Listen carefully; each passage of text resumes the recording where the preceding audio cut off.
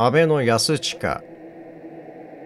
高名な陰陽師。安倍の生命の五代後の子孫でありその血筋にたがわず有能な陰陽師として時の権力者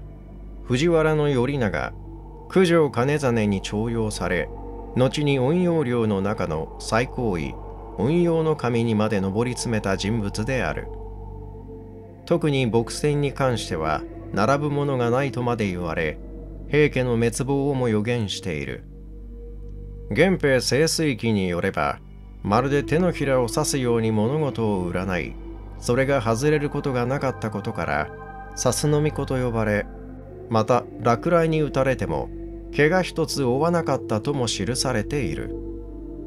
玉物前の伝説では玉物前が九尾の狐であることを見抜き強力な呪法として伝えられる。泰山府君の祭りを行って陽子を退けたというまた彼が残した天文記録安親阿孫記には1166年5月3日に月と水星が接近するという現象が記されており現在のところその記録は水星接近を表した日本最古の記述である。